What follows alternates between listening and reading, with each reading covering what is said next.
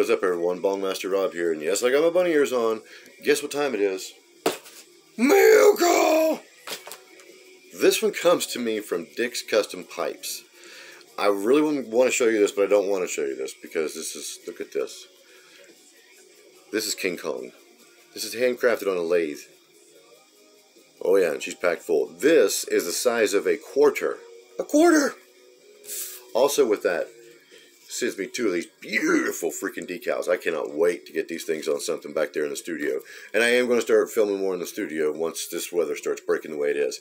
And just for all of you, you know, metallurgists out there, or anybody thinking, oh, I don't want to just smoke out of that. This right here is 693 brass. It's food grade. It, it's beautiful. Beautiful. See if I can hit this. That was our challenge. Let's just see if I can take this all the way in in, in a good way, I guess.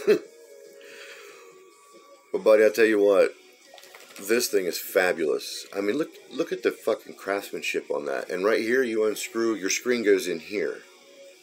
All right, I guess I am just beating around the bush and avoiding the inevitable. But here we go. Let's see, Bongmaster Rob versus King Kong. Thank you so much to Dix Custom Pipes for this. I will be putting their at on in the description of this because we also follow each other on Twitter, so you can look them up and check them out, man. It's awesome.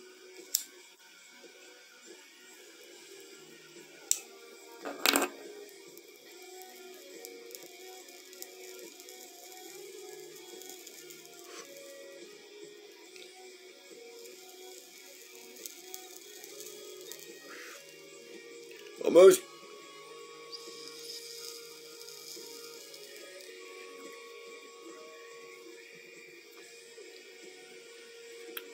Oh man, I'm in love. Thank you so much to Dick Custom Pipes for this. King Kong is here to stay, my friend. Bongmaster approved.